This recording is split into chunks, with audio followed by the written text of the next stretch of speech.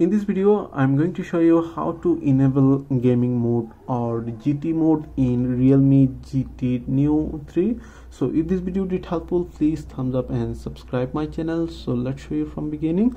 So first of all open settings on your realme uh, gt neo 3 and swipe up swipe up for battery. And here is battery options and swipe up. And here showing gt mode.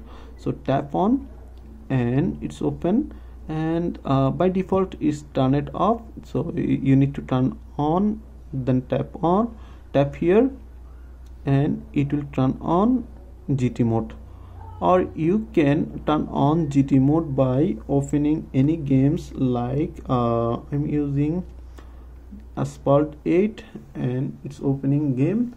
And here showing uh, options in this uh, left side as you can see just swipe right and open mini options then tap on GT mode and for the first time and you need to agree with their uh, privacy or user agreement then tap on agree and just swipe right again.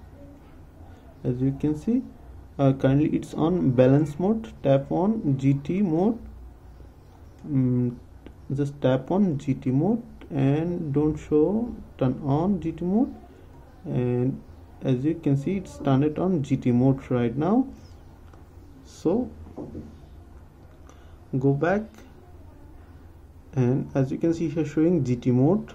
So uh, now you can uh, now you can smoothly play any game on this device so pretty much that's it. If you have any questions please let me know in comments.